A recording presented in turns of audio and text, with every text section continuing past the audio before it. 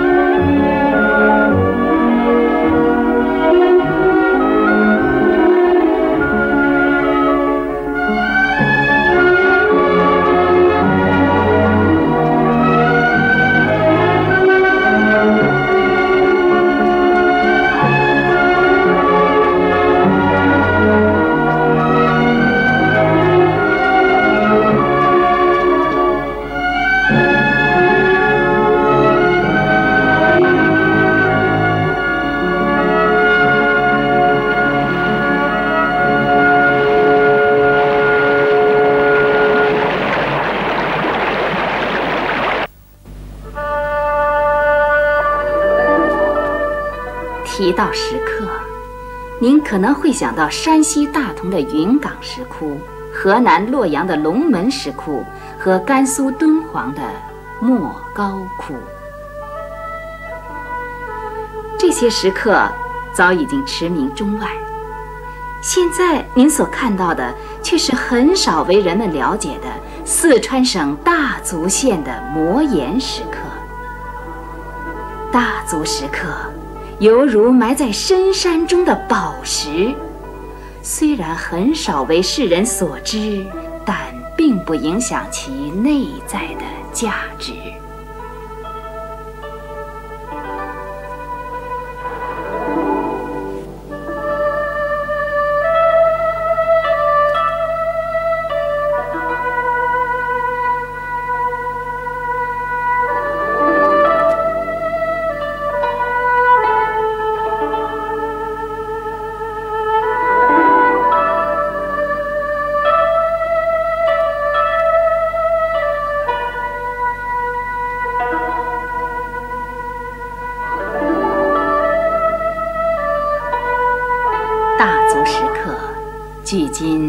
一千多年的历史，是以佛教造像为主的宗教艺术。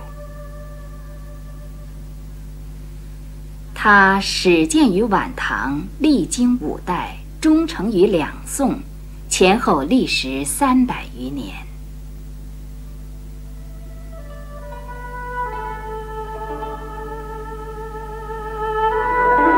大足县。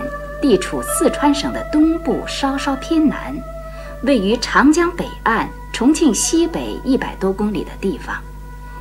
全县的石刻造像多达五万余尊，分布于四十多处，其中以北山、宝顶山两处的摩岩造像最集中，内容最丰富。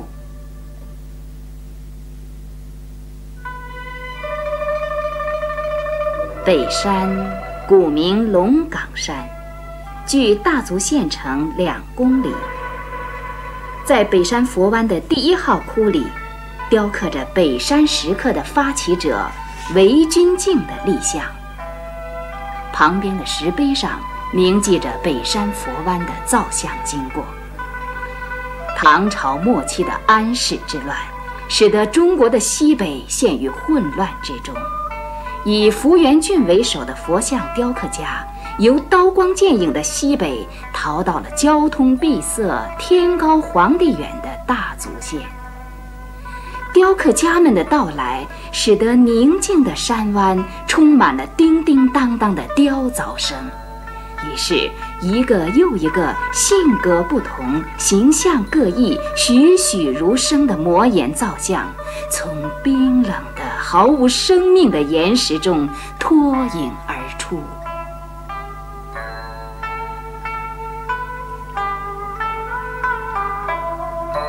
北山的摩岩造像近万曲，佛湾长达里许，形若新月。龛窟如蜂房，共编为二百九十号，多为观音、地藏和阿弥陀佛。另外还有部分唐宋时期历史人物的造像。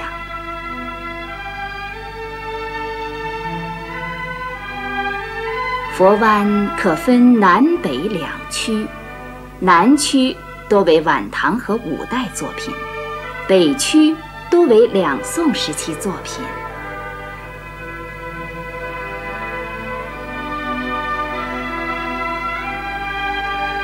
晚唐作品人物造型端庄丰满，服饰简朴，气质浑厚。其手法刀阔斧，朴实刚健，颇似画家写意。历史的车轮进入了五代，战乱的局势迫使雕刻家们放慢了铁的画笔。为数不多的五代作品似乎也证明了这一点。佛湾中部是宋代作品集中的地段，也是北山石刻精华所在。宋代作品具有较强的装饰味儿，无论人体还是服饰，都经过加工变形，使作品既像而又非像，显得生动有趣。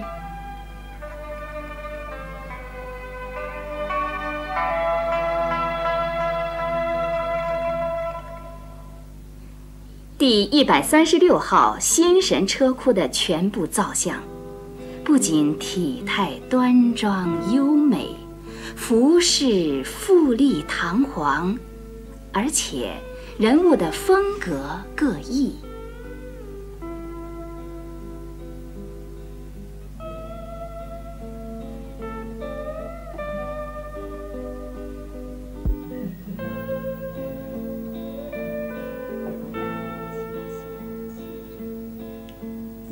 清秀、气质文雅的普贤，伏坐在温顺的象背上。他温柔娴静而又典雅大方，体现了东方女性的妩媚。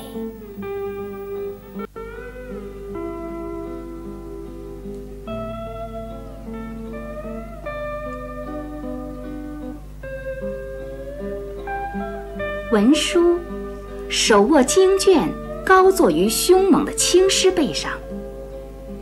他凝神沉思，略带自负神情，俨然一副博学多闻、能言善辩的学者风度，显得法力无边，能为世人救苦救难。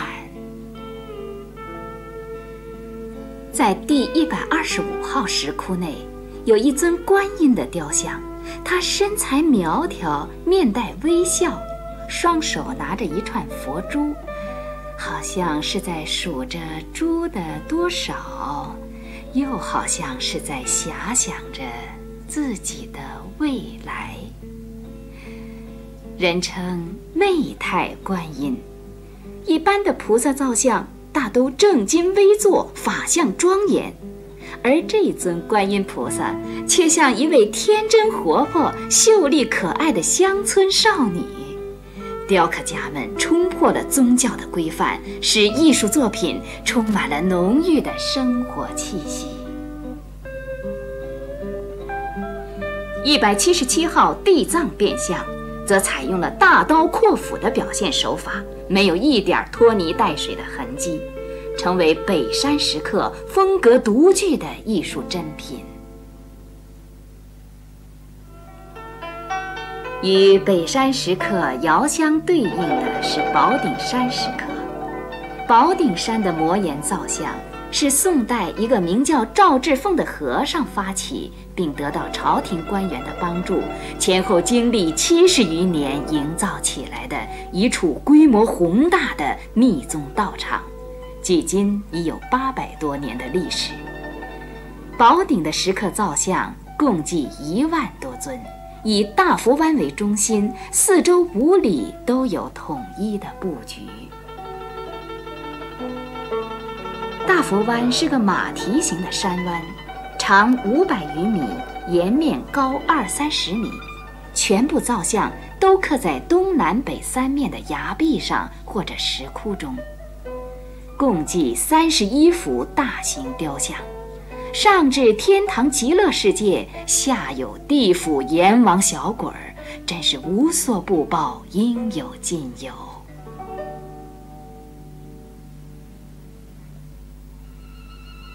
从南岩中部进入大佛湾，迎面而来的是九个狰狞强悍的护法神雕像，令人望而生畏。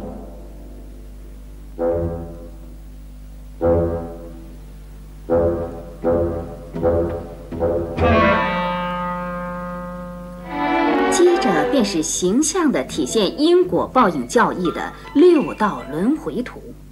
怒目裂口、须眉倒竖的转轮王，手持巨轮，使善男信女们深信人生命运全在转轮之中。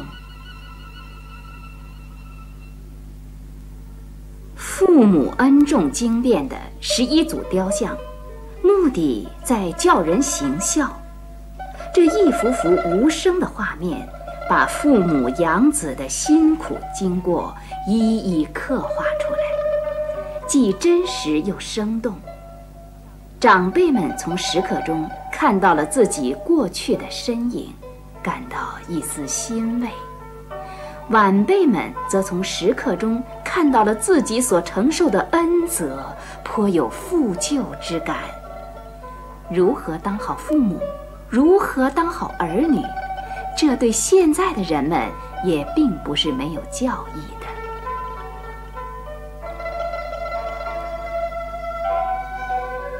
大方便佛报恩经变图，则把释迦描绘成行孝的典型。一些外道嘲笑释迦二十九岁抛弃父母出家，乃是不孝之人。释迦。把他出家前曾割自己身上的肉供饥饿中的父母食用，剜自己的眼睛、抽自己的骨髓为父亲治病，父亲死后又亲抬棺柩等行孝之事讲给弟子听。释迦这些行孝之事，都通过雕像和碑文、图文并茂地表现出来。我们。不必去考察上述事情的可靠程度，也不需要生搬硬套的去模仿，但尊敬老人、赡养父母，却是每个人天经地义应尽的职责。佛教在我国流传千年之后，到了宋代，接受了大量的儒家思想，教义已经发生了变化，强调孝就是突出的标志。结构严谨、布局巧妙的十九幅主要经变像故事，每一幅之中又分为几组或几十组雕像，连续不断地表述一个或几个不同内容的佛经故事，并配着刻有经文、宋词等文字说明，宛如一幅图文并茂的古代连环画。这种表现形式在石窟艺术群中是十分少见的。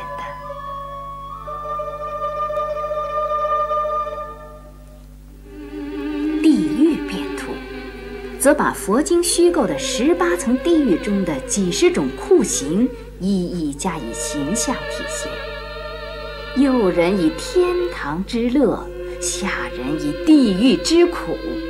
在当时，一方面。艺术为宗教服务尽了最大的力量，另一方面，宗教也保护和发展了这些雕刻艺术。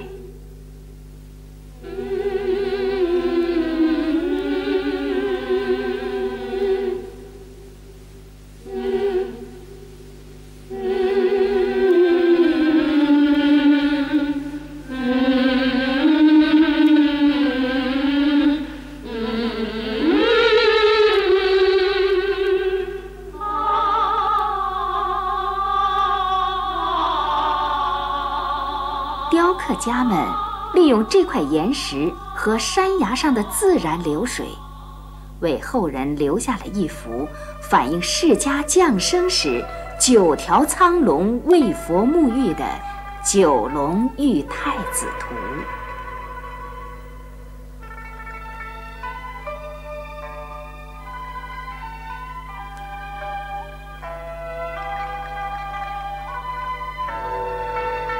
在九龙玉太子图的一旁，则是一组反映释迦涅槃的雕像。涅槃，通俗的说法就是死。这尊卧佛高五米半，长三十一米。为了表现佛的伟大，将佛刻成半身，头顶北牙，下身插入南牙，上有石岩遮盖，好像释迦安详地长眠于半掩的帐幔之中。释迦是佛教的最高代表，他圆寂之时，道教的最高代表玉皇大帝亲来为他吊唁，王母娘娘带着仙女在天上迎接。这也反映了在宋代，佛教的势力在不断增加，道教的影响在不断减少。在卧佛崖顶的水池中，有一双两米来长的特大脚印。传说这是佛升天时留下的足迹，大足的县名也由此而来。其实，早在卧佛像诞生之前，大足县就早已称为大足了，其本意是大丰大足，年年有余。但是人们却愿意把自己县名的来历与卧佛挂上钩，似乎这样更能增添故乡的魅力。一个人生长着两只手，就足以应付正常生活的需要。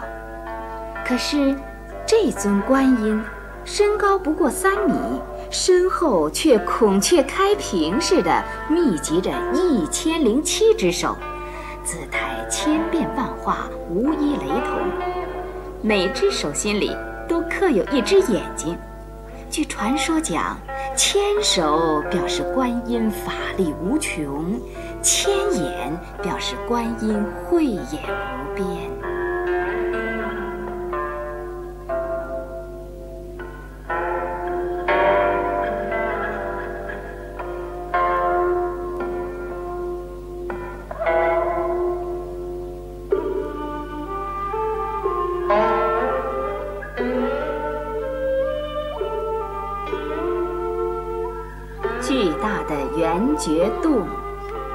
宝顶石刻艺术之冠。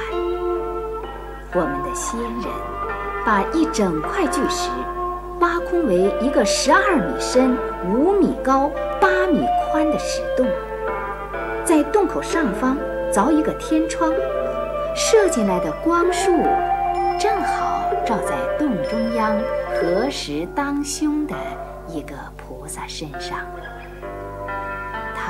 跪在佛的面前，求佛指引。两旁坐着十二个年轻女菩萨，她们各自的表情使人联想起她们不同的经历。然而，现在她们却在沉思默想，如何才能成佛？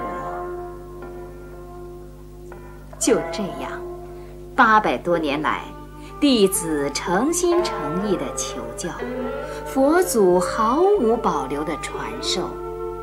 可弟子还是弟子，佛师还是佛师，足可见成仙成佛之难。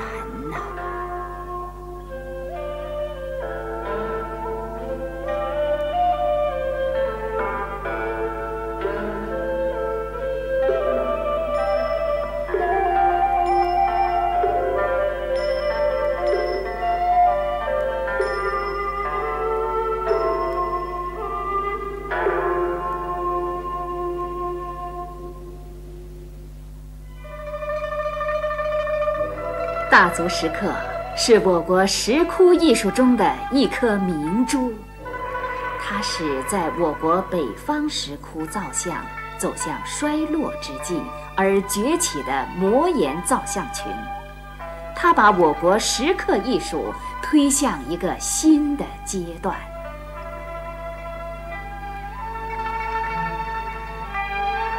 大足石刻是雕刻家们。用充满魔力的双手给人们留下的艺术珍品。各位观众，在《话说长江》的下两回里，您将能沿着长江的川江河段，欣赏大自然给我们描绘出的奇丽景色。